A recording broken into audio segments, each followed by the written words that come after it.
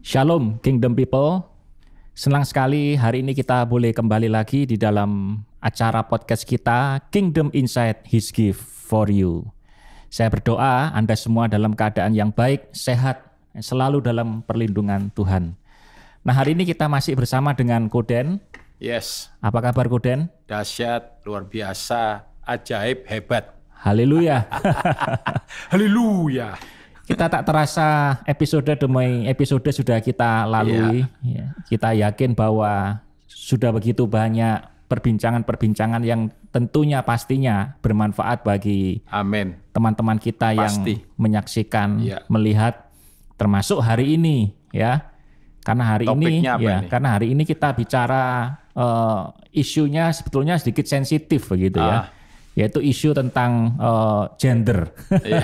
ya, kesetaraan gender. Kesetaraan gender. Alkitabiakah kesetaraan gender itu? Hmm. Nah, ini mungkin adalah sesuatu yang perlu untuk kita eh, perbincangkan ya secara simpel, tapi kita akan melihat bagaimana Alkitab mengatakan tentang kesetaraan gender di dalam kehidupan kita sehari-hari. Nah, Guden, Ya. saya ingin eh, mengawali dengan sebuah pertanyaan dulu. Mm-mm.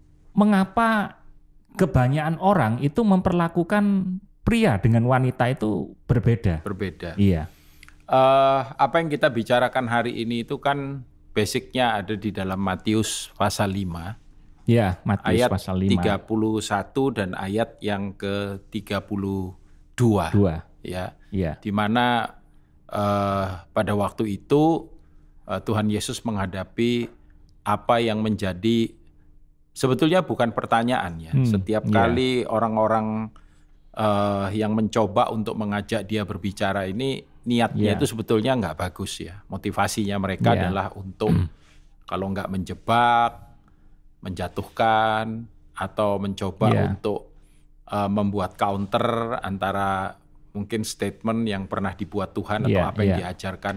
Intinya adalah untuk men- mencelakakan gitu dalam Iya. tanda kutip Tuhan Hmm, Yesus. Tetapi selalu oleh kebijaksanaan dan hikmat yang luar biasa Tuhan itu selalu eh, bisa bukan hanya istilahnya mengcounter apa yang Iya. mereka tanyakan tetapi menggiring semuanya itu dan ini yang jadi tujuan utama juga setiap kali kita Iya. ada dalam perbincangan ini Iya, iya. ya yaitu bagaimana kebenaran yang hakiki itu boleh dinyatakan Hmm. ya nah eh, tadi kan pertanyaannya eh, cara bagaimana eh, pria itu seakan-akan Lebih tinggi misalkan posisinya ya atau kedudukannya daripada wanita. Iya, nah dari ada- up betul.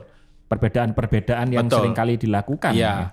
Da- budaya budaya eh, apakah itu juga sudut pandang paradigma ya cara orang berpikir tentang hal itu sepertinya dalam tanda kutip itu memang ada di mana-mana Iya. ya Eh, tetapi kalau kita lihat Alkitab tidak demikian Iya. jelas dari ayat-ayat yang mungkin Pak Roy bisa Iya. bacakan dulu ayatnya ya Matius 5, Matius 5 ayat 31 dan ayatnya yang ke dan 32 32. Iya. Telah difirmankan juga, siapa yang menceraikan istrinya harus memberi Ah. surat cerai kepadanya. ya Tetapi aku berkata kepadamu, Yesus berkata, setiap orang yang menceraikan istrinya, kecuali karena zina, ia menjadikan istrinya berzina. Dan siapa yang kawin dengan perempuan yang diceraikan, ia berbuat zina.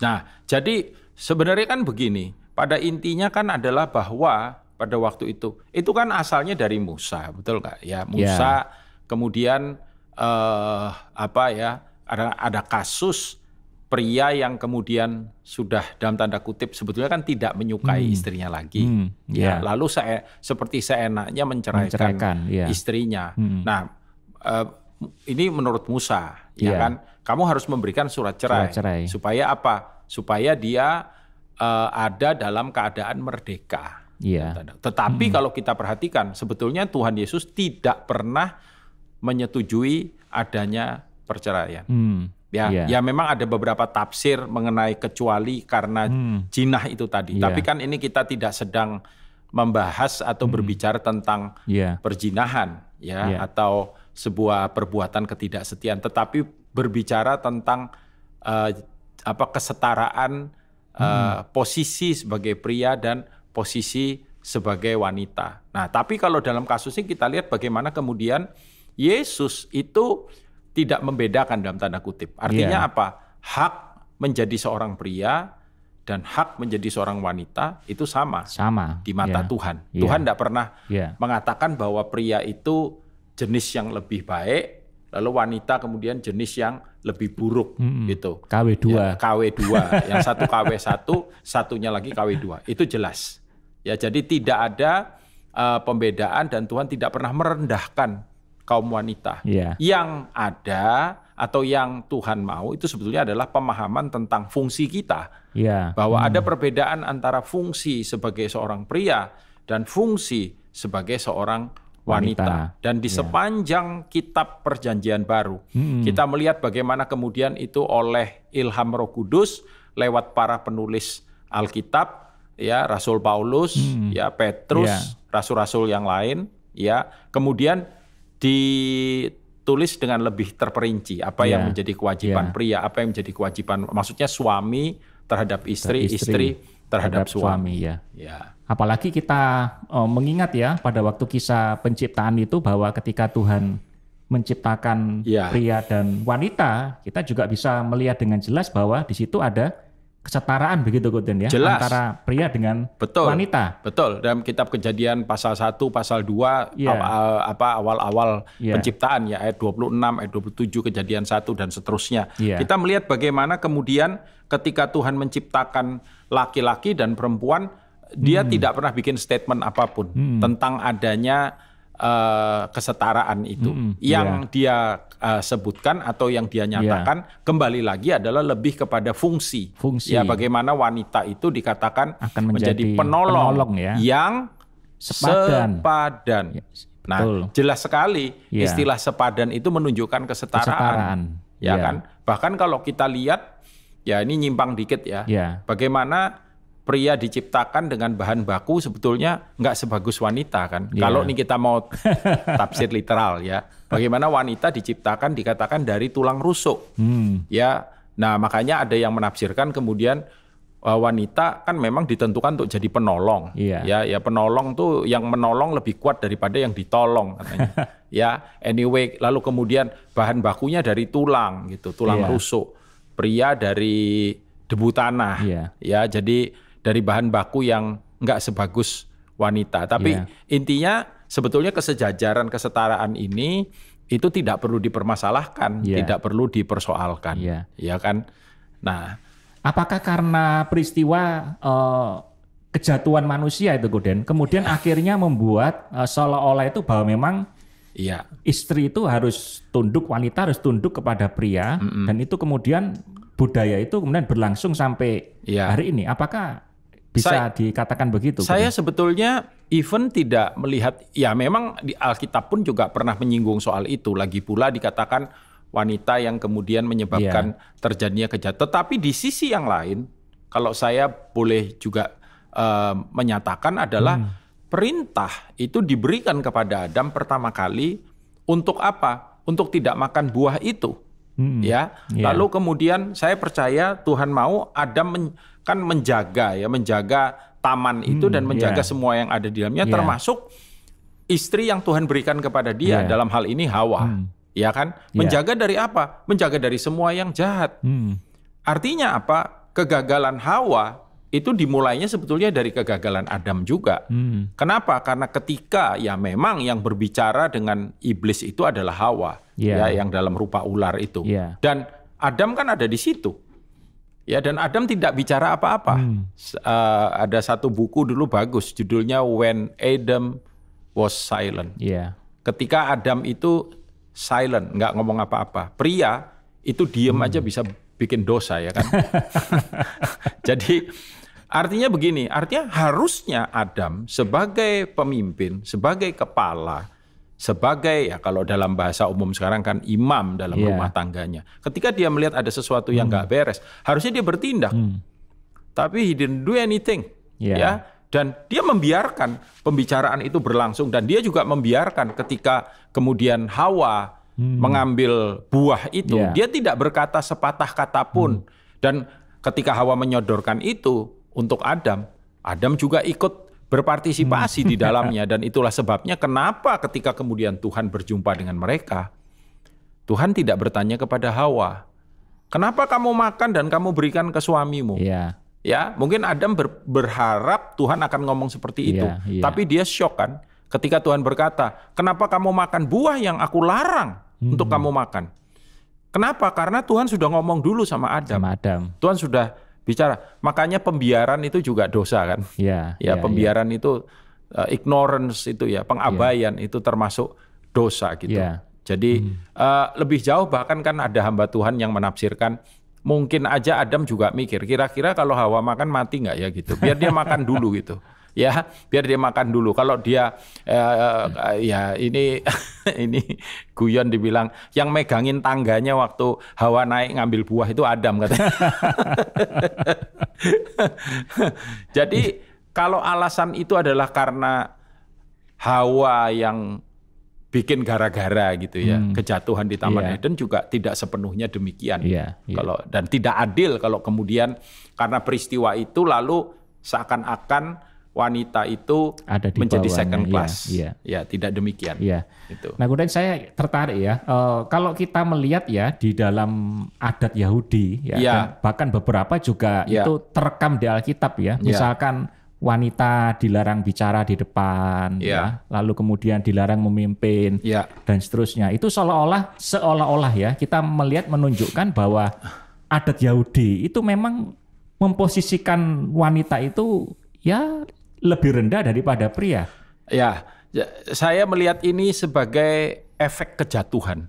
Ya. kejatuhan manusia. Karena ketika kemudian terjadi kejatuhan di Taman Eden itu, eh, kalau bahasa kerajaan itu terjadi pengkhianatan ya terhadap Ya. kerajaan sorga. Lalu kemudian seluruh tatanan kerajaan itu jadi rusak. Ya. Dan itu meresap masuk, memberikan pengaruh dan eh, membawa dampak pada budaya manusia. Hmm, Jadi kalau saya melihat itu sebagai efek kejatuhan Hmm. manusia, ya bagaimana kemudian eh, seakan-akan itu tadi eh, wanita itu dianggap warga kelas 2 Iya. dan eh, ya kita tahu kejatuhan memang kemudian menimbulkan banyak hal yang nggak baik muncul ya di dalam kehidupan manusia atau diri manusia, termasuk juga wanita, ya kan? Eh, contoh misalkan begini, kita selalu berpikir bahwa kalau yang namanya wanita itu pasti cerewet, yang namanya wanita itu selalu lebih mengandalkan emosinya, Perasaan, ya. perasaannya, sehingga kurang eh, logikanya, Iya. ya. Nah, eh, sehingga kemudian oleh pola pikir yang seperti ini, eh, wanita Hmm. nggak usah ikut-ikut lah ya dalam bagian-bagian tertentu dalam kehidupan. Tapi kita lupa Hmm. bahwa wanita juga punya kelebihan, Iya. ya kan? Secara insting mereka Hmm. lebih tajam. Contoh misalkan ketika suaminya mau dealing bisnis, istrinya ngelihat dan istrinya memiliki perasaan yang tidak enak terhadap Iya. calon rekan bisnis suaminya dan dia berkata, kok hatiku nggak enak ya, Hmm. kok eh, apa nggak lebih baik dibatalkan. Suaminya bilang Iya. kamu tuh kalau ngomong mesti pakai bukti, Hmm. betul nggak? Iya. Karena kalau kalau itu munculnya dari sebuah eh, insting ya dalam tanda kutip, susah kan membuktikan Iya. Hmm. Iya. ya dia cuma merasa aja gitu Merasa, iya. ya dan eh, tapi suaminya pakai bukti kan pakai logika Hmm. pakai portfolio yang jelas lihat ini lihat kamu nggak tahu dia siapa dan lain sebagainya Hmm. dan apa yang kemudian terjadi adalah suaminya tertipu Iya. ya betul aduh coba aku dengerin Hmm. too late ya kan Iya. sudah sudah terlambat gitu. Nah, Ya. artinya apa? Artinya eh, ada hal-hal di dalam diri wanita itu yang juga tidak kalah Hmm. apa ya hebat Ya, gitu ya. dibandingkan dengan pria. Dengan nah, pria. saya melihat masing-masing punya sisi di mana yang kalau itu bisa Saling kemudian melengkapi begitu saling ya. melengkapi dan dilakukan dengan eh, sudut pandang yang benar sesuai Ya, firman Tuhan ya. yang baik Iya. dan kita tahu anyway Tuhan Yesus tidak pernah merendahkan Hmm. ya atau bersikap uh, buruk atau merendahkan atau bahkan mengajarkan Iya. tentang uh, apa ketidaksetaraan gender ya. iya, Tapi iya. dia justru menunjukkan lewat gaya hidupnya ketika dia melayani, ketika dia Iya, mengajar, ketika dia uh, berkeliling dan lain sebagainya. Kita tahu ada wanita-wanita dalam tanda kutip yang Murid-murid yang wanita ya, Betul. murid-murid Yesus wanita ya. betul, yang bahkan Tuhan bilang apa yang contoh Maria misalkan Hmm, yang iya. duduk di kaki, apa yang eh, apa namanya eh, dia mendapatkan bagian yang terbaik. Hmm, Ya kan wanita yang meminyaki kakinya dibilang Iya. di mana Injil diberitakan, dia akan selalu diingat dia ya. akan selalu diingat Iya, iya. gitu. Lalu Iya. kemudian ketika dia eh, bangkit dari kematian, siapa yang pertama kali datang ke kubur? Ya, Maria. Maria. Betul. Maria Magdalena, dan Maria Maria yang lain. Iya. Mario nggak ada di situ. Iya. Iya. Ya. Nah, apalagi kita juga tahu Koden ya bahwa mung- sekalipun perbedaan itu diakibatkan karena adanya kejatuhan, tapi kita tahu dan kita yakin ya bahwa Yesus telah menebus manusia dari kejatuhan itu Yes. ya. Dan itu Yes. menunjukkan bahwa tidak ada lagi perbedaan ya Tidak ada lagi. antara pria dengan Jelas. wanita. Eh, ke- kejatuhan itulah yang kemudian membuat banyak cacat dalam budaya kita. Iya. Budaya mau budaya Yahudi, mau budaya ya termasuk budaya Indonesia juga. Ya kan budaya orang timur maupun orang barat, orang Iya. utara, orang Iya. selatan. Iya. Tapi untuk itulah Tuhan Yesus datang. Betul. Ya, dan iya. karena itu lewat kehidupannya dia menyatakan, tapi dia nggak berhenti sampai pada pengajaran saja. Bagaimana ya. kemudian dia mati bagi kita, Hmm. dia menebus kutuk. Ya, Nah, salah satunya ya kutuk yang menyebabkan adanya perbedaan gitu klaster ya, Da- klaster secara budaya gitu. Heeh. Tidak hanya wanita kan kita tahu, dalam Iya. kehidupan kita juga Hmm. begitu kan. Iya. Ada apa kelas-kelas Iya, betul. Iya. tertentu dalam kehidupan yang kemudian membuat ketidakadilan sering kali juga Iya. terjadi. Untuk itulah Tuhan Yesus mati. Ya, justru sebetulnya dengan adanya keberagaman ini ya, diversity ini, Hmm. misalkan kita dalam satu kelompok ada pria, ada wanita, itu justru membuat harmonisasinya menjadi semakin baik gitu Goden ya. Menjadi semakin luar biasa. Iya. Kenapa? Karena ada sisi-sisi yang kita lemah sebagai pria. Ya, Wanita bisa tampil bisa untuk tampil kuat. Nah, ada sisi-sisi yang wanita juga lemah. Hmm, ya. Ya kan? Eh, ya secara fisik lebih lemah. Iya. Ya kan? Makanya ada ayat eh, Alkitab berkata perlakukan dengan lembut. Hmm. Ya, karena eh, ya mereka secara fisik memang lebih lemah Iya. begitu. Tapi ada sisi yang mereka lebih kuat dari kita. Ya. Makanya wanita saya percaya diberi kepercayaan untuk melahirkan. Sakit loh orang melahirkan. Ya. Kan enggak pernah melahirkan kan? Sama saya juga ya. Ya, baik. Eh, Koden bisa nggak berdoa untuk kita? Mungkin untuk untuk pria yang selama Iya. ini memandang rendah atau mungkin wanita yang selama ini Merasa merasa minder Iya. ya. Biarlah melalui perbincangan ini kita semua dipulihkan kembali. Iya. Nah, sebelum eh, berdoa mungkin yang saya mau tekankan kepada para wanita adalah dapatkan dan mengerti dan hidupilah apa kedudukan Anda. Siapa Amen. Anda di dalam Kristus. Iya. Ya, karena eh, apa yang Tuhan sediakan, apa Iya. yang Tuhan percayakan, apa yang Tuhan taruh. Kembali ke dalam kitab perjanjian lam, eh, perjanjian baru ya, Iya. kita menemukan ada diaken wanita, Iya. ya Iya. kan? Iya. Ada penatua wanita, ada pengajar wanita, ya, dan Ya. semuanya itu yang Tuhan kerjakan. Dan Ya. saya memiliki ibu-ibu rohani yang hebat dalam kehidupan saya. Amin. Ya, ayo kita berdoa. Bapak, terima kasih hari ini dalam perbincangan yang singkat ini, kalau Tuhan tidak pernah membedakan antara pria dan wanita, kami diciptakan setara dengan beda fungsi. Pertama-tama hambamu berdoa untuk wanita-wanita Allah yang Tuhan sudah tebus Ya, hidupnya, yang Tuhan sudah panggil, yang Tuhan sudah perlengkapi, Tuhan pakai secara hebat, Amin. ajaib, dahsyat, luar biasa. Para istri-istri boleh menjadi penolong, bukan perongrong, bukan penggarong, bukan penodong untuk suaminya, tetapi Ya, Tuhan. penolong yang sepadan. Dan untuk suami-suami, biarlah Tuhan berikan hikmat kebijaksanaan untuk boleh memperlakukan wanita sebagai kaum yang lebih lemah, melindungi, menjaga, menyayangi, mengasihi, dan menghargai mereka. Karuniakan kepada kami supaya boleh menjadi Tuhan, pemimpin yang baik, kepala yang baik, untuk istri yang Tuhan percayakan mengasihi mereka seperti Tuhan mengasihi gerejanya. Ucap Ya. syukur, kami percaya berkatmu ada pada setiap kami Amin. dalam nama Tuhan Yesus. Dalam nama Yesus. Amin. Amin. Amin. Amin. Baik, terima kasih Koden untuk waktunya. Sama-sama. Perbincangan yang sangat menarik pada hari ini. Baik guys, eh, jangan lupa untuk setiap wanita, setiap perempuan bahwa Anda diciptakan sama di hadapan Tuhan. Karena itu temukan tujuan hidup dan teruslah berkiprah di dalam kerajaan Tuhan. Dan para pria, saya percaya kita semua diberi karunia Tuhan juga untuk bisa bekerja sama dengan para wanita. Jangan lupa nantikan serial berikutnya di dalam Kingdom Inside His Gift for, For you. you.